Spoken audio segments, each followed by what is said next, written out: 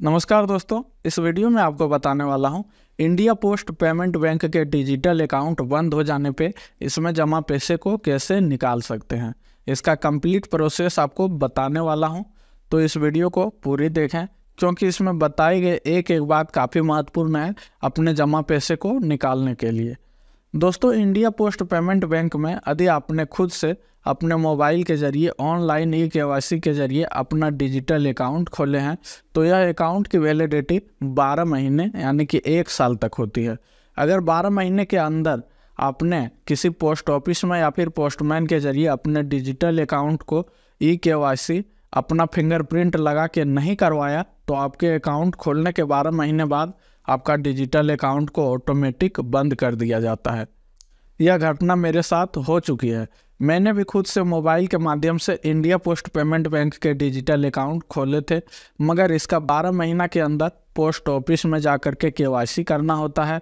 इसकी जानकारी मुझे नहीं थी और मैंने उसमें कुछ पैसे भी जमा करके रखे थे। और लगभग डेढ़ साल के बाद जब मैं उस अकाउंट का पैसा निकालना चाहा तो मेरा अकाउंट बंद हो चुका था। और मैं फिर अपने नज़दीकी डाकघर गया और वहाँ से अपने अकाउंट बंद होने की वजह पूछी तो बताया गया कि आपका डिजिटल अकाउंट था और आपने 12 महीने के अंदर बैंक में आके के नहीं करवाएँ, इसलिए आपका अकाउंट बंद हो गया है। और जब मैं अपने अकाउंट का के कराना चाहा तो नहीं हो पाया और बताया गया कि आपका अकाउंट बंद हुए, काफ़ी दिन हो गया है, इसलिए यहाँ से नहीं होगा, अब आपको बड़ा डाकघर जाना होगा।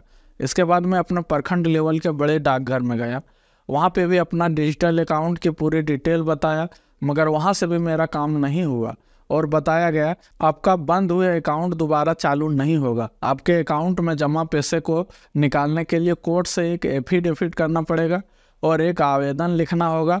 फिर आपको पोस्ट ऑफ़िस के हेड ब्रांच जाना होगा, तब आपका पैसा निकलेगा। और इसमें लगभग हज़ार रुपये तक का खर्च आपको लग जाएगा पैसे निकालने में। पर मैंने उसकी कोई बात नहीं मानी और मैं अपने ज़िला के मुख्य ब्रांच के पोस्ट ऑफ़िस पहुँच गया और लाइन में लग गया और लगभग एक घंटे लाइन में रहने के बाद जब मेरी बारी आया और जब मैं अपना पूरा विवरण बताया और अपना बंद हुए अकाउंट का डिटेल उसे दिया, तब उसने अपने सिस्टम में मेरा अकाउंट नंबर डाला। तो बताया गया कि आपके नाम से अकाउंट नहीं है, मगर आपका आधार नंबर आप ही का आ रहा है और मोबाइल नंबर तथा पैन कार्ड नंबर किसी और का आ रहा है। इसलिए मैं आपका अकाउंट चालू नहीं कर सकता हूँ। आप एक बार मैनेजर से जाके बात कीजिए।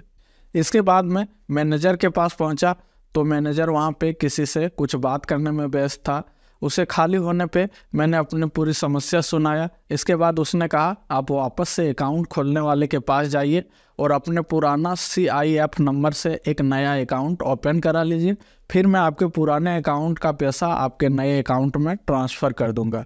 मैं फिर वापस से गया उसके पास और मैनेजर की कही सारी बात उसे बताया कि पुराने सीआईएफ नंबर से मेरा नया अकाउंट ओपन कर दीजिए। उसने काफ़ी देर तक कोशिश करने के बाद मेरा पुराना सीआईएफ नंबर से नया अकाउंट नहीं खोल पाए और मैं फिर दोबारा मैनेजर के पास पहुँचा और उसे पूरी बात बताई। फिर उसने वहीं से अपने एक पोस्टमैन को बुलाया और मेरा नया अकाउंट नए स्तर से खोलने को बोला। और फिर अपने पुराने अकाउंट के डिटेल दिए बिना ही अपना आधार कार्ड मोबाइल नंबर तथा पैन कार्ड के ज़रिए एक नया अकाउंट ओपन कराया मैंने, जो कि कुछ ही मिनटों में नया अकाउंट चालू हो गया। इसके बाद बंद हुए अकाउंट के पैसे मेरे अकाउंट में ट्रांसफ़र करने के लिए मुझे एक ट्रांसफ़र की फॉर्म दिया गया। इसमें अपना पुराना अकाउंट के डिटेल जैसे account number C I F number नाम इत्यादि भरने के बाद उस पैसे को जिस अकाउंट में ट्रांसफ़र करना था, यानी कि अपने नए इंडिया पोस्ट पेमेंट बैंक के अकाउंट का डिटेल भी उस फॉर्म में भर दिए। और उस बंद हुए अकाउंट में मेरा कितने पैसे थे, उसे चेक करके वहीं से मुझे बता दिया गया। और उतने ही पैसे कोई अमाउंट को मैंने अपने ट्रांसफ़र करने वाले फॉर्म में भर दिए। और फिर फॉर्म में अपना हस्ताक्षर करके मैनेजर के पास ले गया और उससे वेरीफाई करा के वापस अकाउंट खोलने वाले कर्मचारी को जमा दे दिए। और वहाँ से बताया गया कि दो से तीन दिनों का समय लगेगा, आपके पुराने अकाउंट का पैसा आपके नए अकाउंट में ट्रांसफ़र हो जाएगा।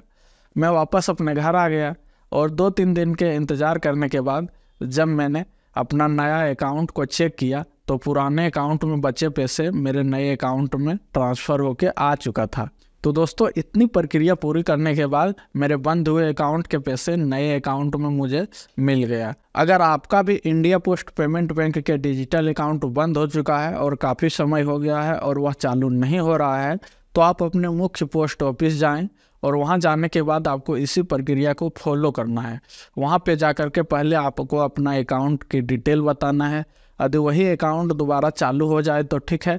यदि नहीं चालू हुए तो आपको अपने आधार से एक नया फ्रेश अकाउंट को ओपन करा लेना है।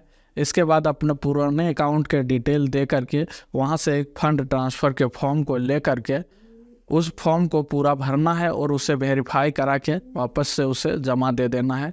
इसके बाद दो से तीन दिनों का टाइम लगेगा और आपके बंद अकाउंट के पैसे आपके नए अकाउंट में सफलतापूर्वक आ जाएगा।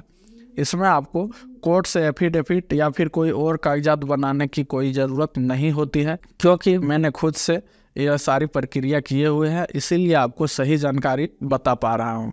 तो कैसा लगा आपको यह जानकारी? आप हमें कमेंट करके ज़रूर बताइएगा। और अगर वीडियो पसंद आया और उपयोगी लगा तो वीडियो को लाइक करके चैनल को सब्सक्राइब ज़रूर कर लीजिएगा। जल्द मिलते हैं एक नई वीडियो में। वीडियो को पूरे देखने के लिए आपको बहुत बहुत धन्यवाद।